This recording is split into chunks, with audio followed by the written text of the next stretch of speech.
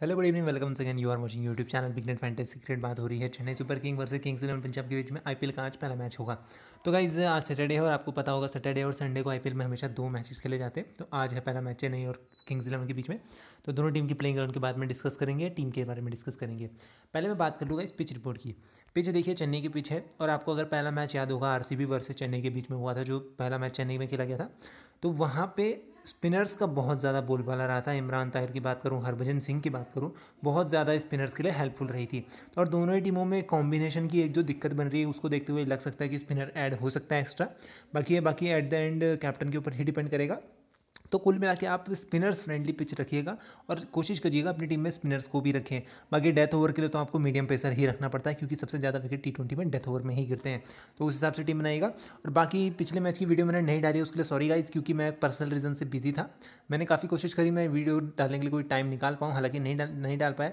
और वैसे सच कहूँ मैं, कल का वीडियो अगर डालता हूँ के आर वर्सेज बैंगलोर वाले मैच में तो मैं कैप्टन वाइस कैप्टन में से क्रिस लिन जो कि मैंने पिछले मैच में भी रखे थे, और विराट कोहली, इनको ही रखता है। या फिर मैं तीसरा ऑप्शन की अगर मैं बात करूँ तो रॉबिन उथप्पा को रखता। तो अगर ये मेरे ऑप्शन होते और पिछला मैंने वीडियो अगर डाला होता तो शायद काफ़ी आपको प्रॉफिट हुआ होता। खैर कोई बात नहीं कोशिश करेंगे आगे से आपको प्रॉफिट हो।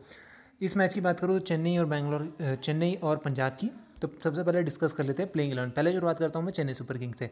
सबसे पहले न्यूज़ इनकी है कि ड्विन ब्रावो अब नहीं खेलेंगे इस, इस मैच में। अब दूसरी चीज़ न्यूज़ की एक बात करूँ तो इनके जो कोच हैं उन्होंने क्लियरली कह दिया है कि वॉटसन और राइडू पे हमें भरोसा है। हालाँकि पूरे टूर्नामेंट में अभी तक चेन्नई के चारों के चारों मैच में वॉटसन और राइडू पूरी तरह से दोनों ही खिलाड़ी अभी तक फ्लॉप रहे हैं। एक भी इनिंग अच्छी नहीं आई है दोनों की तरफ़ में से। किसी में आठ की आठ इनिंग में दोनों फ्लॉप रहे स्टार्ट लिया है, हालाँकि वॉटसन ने एक आधे मैच में, लेकिन कन्वर्ट नहीं किया उसको कभी, कोई भी बड़े स्कोर में। तो यहाँ पे एक आस लगाई जा रही थी कि फाफ ड्यूप्लेसिस को लेकर आ सकते हैं, और पिछले मैच से पहले उन्होंने काफ़ी ज़्यादा नेट पर प्रैक्टिस भी करी थी फाफ ड्यूप्लेसिस में। लेकिन कहीं अब कोच का ऐसा कहना कि हमें दोनों पर भरोसा है, और बहुत जल्दी एक बड़ी इनिंग देखने वाले हैं आप।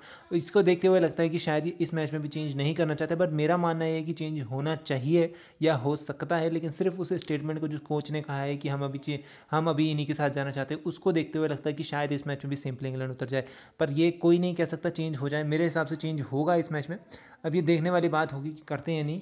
खैर, अगर होगा तो वो राइडू या वॉटसन में से किसी को भी बाहर करके फाफ डिप्लेसिस को टीम में अंदर ला सकते हैं। हालाँकि इसकी पॉसिबिलिटी टीम मैनेजमेंट की तरफ़ से कम लग रही है, लेकिन मेरे हिसाब से ये चेंज होना चाहिए। रायना का, रायना है, उसके बाद केदार यादव है, महेंद्र सिंह धोनी है। अब क्योंकि ब्रावो नहीं है इस मैच में तो जडेजा छः नंबर पे आएँगे अदरवाइज़ छः और सात जडेजा, कोई भी एक आता था और दूसरा ब्रावो आता था। उसके बाद सात नंबर की अगर बात करूँ तो हरभजन सिंह या फिर मिचिल सैंडनर में से कोई एक आएगा और प्रोबेबली मिचिल सैंडनर आएँगे, फिर आएँगे इमरान ताहिर, फिर आएँगे दीपक चाहर फिर शार्दुल ठाकुर और मोहित शर्मा। अब एक ऑप्शन और आता है कि गाइस क्योंकि स्पिन फ्रेंडली पिच है तो क्या सैंटनर और हरभजन सिंह दोनों को खिलाया जा सकता है?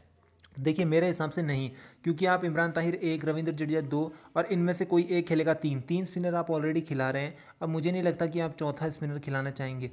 तो यहाँ पे मेरे हिसाब से तीनों के तीनों मीडियम पेसर इस मैच में खेलेंगे, क्योंकि इससे पहले होता ये था कि ड्वेन ब्रावो आपकी टीम में थे तो आपके पास डेथ ओवर का एक स्पेशलिस्ट बॉलर था। पिछले मैच में आपने देखा होगा, मोहित शर्मा को काफ़ी पिटाई पड़ी थी इनके तीसरे ओवर में। तो उसके बाद जो आखिरी ओवर था, वो शार्दुल ठाकुर ने कराया था, यानी कि ड्वेन ब्रावो भी डेथ ओवर में पिटे थे। शार्दुल ठाकुर हालाँकि ठीक ठाक कर गए थे। तो इनके बाद डेथ ओवर का ऑप्शन नहीं क्योंकि दीपक चार चार ओवर शुरुआत में कर देते अपने पावर प्ले में या फिर आठवें ओवर तक। और मोहित शर्मा और शार्दुल ठाकुर को ही डेथ ओवर करने पड़ेंगे, क्योंकि स्पिनर्स में से तो किसी से डेथ ओवर्स नहीं करवाएँगे। इसलिए मेरे हिसाब से तीनों के तीनों पेसर खेलेंगे और तीन स्पिनर्स इस मैच में खेलने वाले हैं चेन्नई सुपर किंग्स की तरफ़ से। पंजाब की बात करते हैं। पंजाब के लिए न्यूज़ ये है कि Chris Gayle fitness test pass हो चुका है। पिछले मैच में अनफिट थे, इसलिए नहीं खेले थे। इस मैच में फिटनेस टेस्ट पास हो चुका है और इस मैच में प्लेइंग में सीधे सीधे आएँगे। उसके बाद सेकंड ओपनर होंगे के राहुल थर्ड पे आएँगे, मयंक अग्रवाल चार पे आएँगे, सरफराज खान पाँच पे डेविड मिलर छः पे मनदीप सिंह। करुण नायर एक ऑप्शन था लेकिन मनदीप सिंह ने मनदीप सिंह को अभी तक जितने भी चांस मिले, उसमें इन्होंने इंप्रेस किया है पहले मैच को छोड़ करके। तो इसको देखते हुए मनदीप सिंह एक बार फिर खेलेंगे, फिर आएँगे रविचंद्र सॉरी फिर आएँगे सैम करन सात नंबर पर आएँगे सैम करन इस बार सैम करन ओपनिंग नहीं करेंगे। सात नंबर पर सैम करन आठ पे आएँगे अश्विन, नौ पे शमी, दस पे मुर्गन या फिर अंकित राजपूत में से कोई एक, और ग्यारह पे मुजीब जतरान अब यहाँ पर डिपेंड करता है कैप्टन के ऊपर कि अगर एक्स्ट्रा स्पिनर तीन स्पिनर खिलाना है अश्विन, मुजीब तो मुर्गन को खिला सकते हैं। अदरवाइज़ एक पेसर चाहिए तो अंकित राजपूत के साथ जाएँगे। बाकी हेडर्स पेजान को इस मैच में बाहर जाना पड़ेगा क्योंकि क्रिस गेल को टीम में लाया जाएगा। तो ये तो बात हुई दोनों टीम के प्लेइंग रन की। अब बात कर लूँ मैं ड्रीम इलेवन की टीम की इस मैच के लिए। सबसे पहले बात करता हूँ मैं सी की टीम से। सॉरी, कीपर से। तो देखिए, कीपर में हमारे पास दो ऑप्शन है, दोनों ही काफ़ी अच्छे ऑप्शन है, लोकेश राहुल और महेंद्र सिंह धोनी। अब मेरे हिसाब से देखिए, दोनों ही कॉम्बिनेशन काफ़ी अच्छे, लेकिन मुझे एक बेटर ऑप्शन बल्लेबाज के तौर पे चाहिए। कीपरिंग में ऑब्वियसली राहुल अच्छा ऑप्शन है, क्योंकि टॉप ऑर्डर पर बैटिंग करेंगे, और धोनी पाँच नंबर पर इसलिए मैं जा रहा हूँ राहुल के साथ।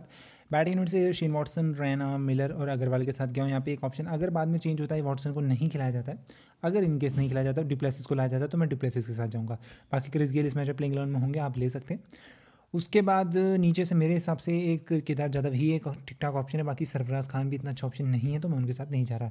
ऑलराउंडर से रविंद्र जडेजा सैमकरन और मिचिल सेंटर तीन लिए अगर सेंटर नहीं खेले तो फिर मैं हरभजन सिंह के साथ जाऊँगा, क्योंकि ऐसे कि मैं हरभजन सिंह को सात नंबर पर बैटिंग करने का चांस भी मिलेगा। बाकी यहाँ से ड्वेन ब्रावो नहीं खेलेंगे, और आप देख सकते हैं सिक्सटी परसेंट के अराउंड ने इनको अपनी टीम में पिक किया है, हालाँकि ये फिफ्टी फाइव तक आ जाएगा डेडलाइन में। उसके बाद बॉलिंग यूनिट से बात करूँ तो शार्दुल ठाकुर, मोहम्मद शमी, मुजीब को लिया हुआ मैंने, यहाँ से तीन बॉलर लिए हुए बाकी एड्रेस में जॉन नहीं खेलेंगे, इमरान ताहिर आपके लिए बहुत बेहतर बेहतर ऑप्शन रहेगा। दीपक चहर भी आप ट्राई कर सकते हैं, लेकिन दीपक चहर के केस में आपको टॉप ऑर्डर ड्रॉप करना पड़ेगा पंजाब का, और मैंने टॉप ऑर्डर से दो बैट्समैन लिए पंजाब से। कैप्टन में है मेरे रैना वाइस कैप्टन में है मेरे के राहुल। बैलेंस देखेंगे आप, काफ़ी अच्छा बनाए तीन बॉलर यहाँ से हैं, तीन बॉलर यहाँ से। और तीन रेगुलर बैट्समैन और तीन छः नंबर पे क्योंकि जडेजा खेलेंगे, इसलिए मैं छः जडेजा को रेगुलर बैट्समैन के तौर पे ले रहा हूँ, क्योंकि टॉप सिक्स अमूमन बल्लेबाज होते हैं। तो इस तौर पे मेरे पे तीन यहाँ से बल्लेबाज हैं और सेंटर चार चार हो जाएँगे सात नंबर पे और सात नंबर तक चार मेरे पास पंजाब से भी हैं। तो काफ़ी इक्वल इक्वल लाइनअप है। तो गाइज़ ये टीम उम्मीद करते हैं इसके साथ हम सब कुछ वन कर पाएँगे। मिलते हैं अगले वीडियो में। Good bye guys bye take care